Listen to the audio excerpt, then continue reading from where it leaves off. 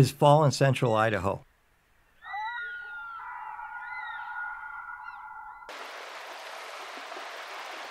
Everything seems to be in a hurry to get somewhere before the first leaf falls from the trees.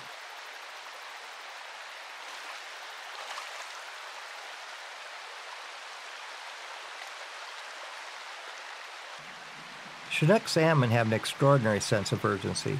This is their spawning season. They have a short period of time to reach their spawning grounds before they die. Meanwhile, several agencies and tribes migrate to these waters to document this event. Established stream transects are surveyed each year. Some have been surveyed since the 1950s. Specifically, surveyors are looking for Chinook salmon nests. The nests are called redds.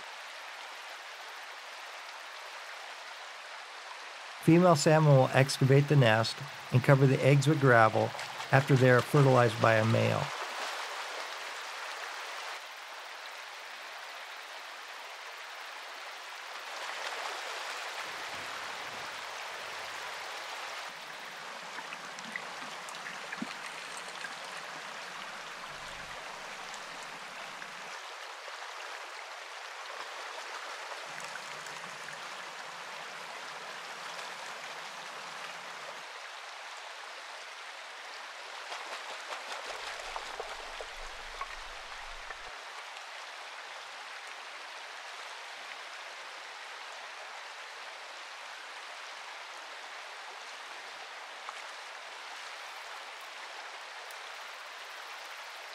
Besides documenting the redds, the crews collect data from the Chinook carcasses.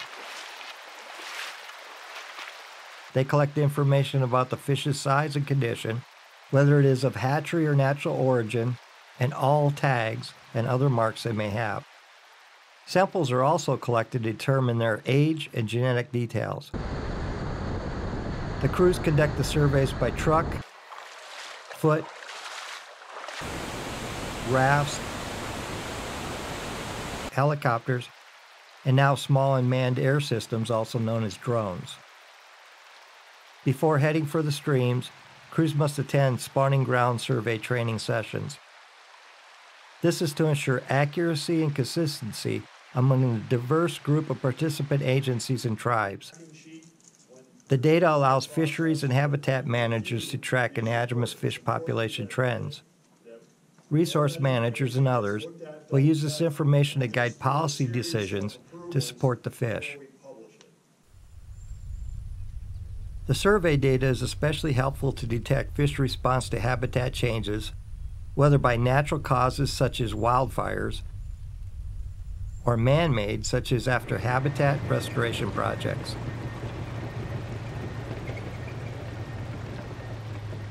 The ultimate goal of all this attention to details is to preserve, protect, perpetuate, and manage these magnificent salmon for current and future generations.